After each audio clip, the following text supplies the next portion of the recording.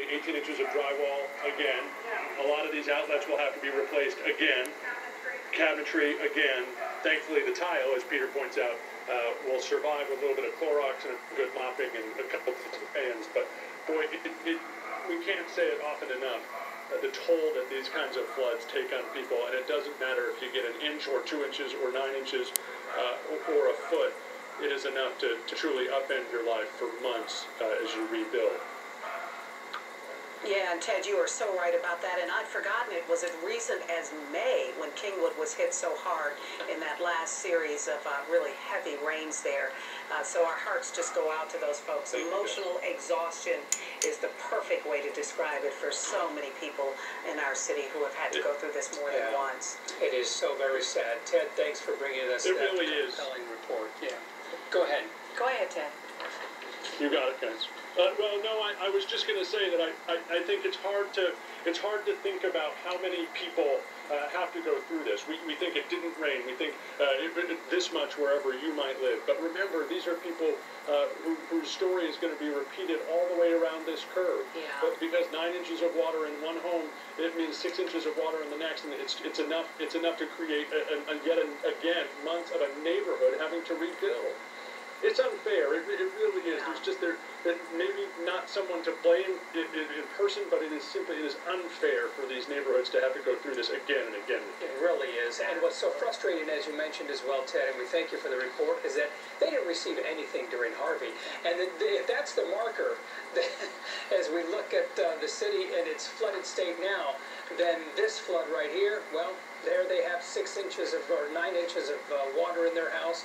So very sad. But Don Armstrong live in Sky Eye. And Don, boy, you've just taken the aerial view of this city, and there it is. Uh, that looks like I-45. Is that what it is? Is that the one that's backed up and that's completely right, flooded? Right, This is, this is our this is our first opportunity to get airborne. Obviously, the weather has prevented us and kept us on the ground uh, all these hours, but we finally have managed to get up. And as you can see, there's downtown from a view that's just north of the downtown Houston area. And that traffic that you're looking at there, that's uh, 45 northbound traffic uh, uh over White Oak and Buffalo Bayous, where those two bayous uh, uh, come together down here just north of downtown. We're going to take a right-hand turn here. Dale, if we can get you to turn with us, you, you can see the Dale, if we could turn, go north here, working with the Dale Pike, our uh, check airman pilot this afternoon.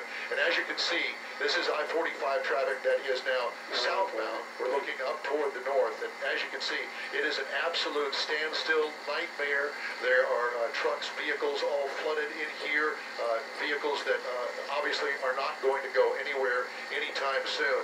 Uh, look at the people that are standing on the bridge down here over uh, I-45 at North Main Street. This is an absolute nightmare, and this is the scene all over town from what I have seen on your broadcast uh, sitting at the airport all afternoon. But look at this traffic, an absolute nightmare on 45. And this is the case on many of the freeways. This is the first one that uh, we have flown I'm, I'm, I'm, quite surprised at all of this. But uh, with the bayous overrunning uh, the overpasses downtown, this is what you get. And as you can see, uh, it's going to be a while before this clears. Yeah, and we have seen this time and time and time again, right, Don? I mean, it, it seems every flood, these overpasses or these, you know, these these freeways flood. The ones that are near bayous like this, it is so very sad.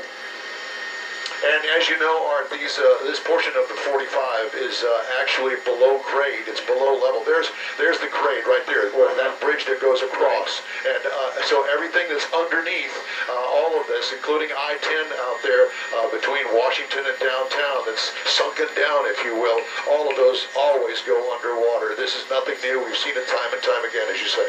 Yeah, unbelievable. So what we're seeing uh, in many cases is just that that water rising up out of the bayous and just bringing everything to an absolute stop. And it's always pretty awful because the folks in the back have no idea what the holdup is, so they continue to get onto the freeway, uh, not knowing that there is nowhere to go at a certain point. And you know, Melanie, I, I saw an earlier broadcast uh, about Tidwell up here on 45 North. Now, there's the cars that you see the taillights there on yeah. the right hand side.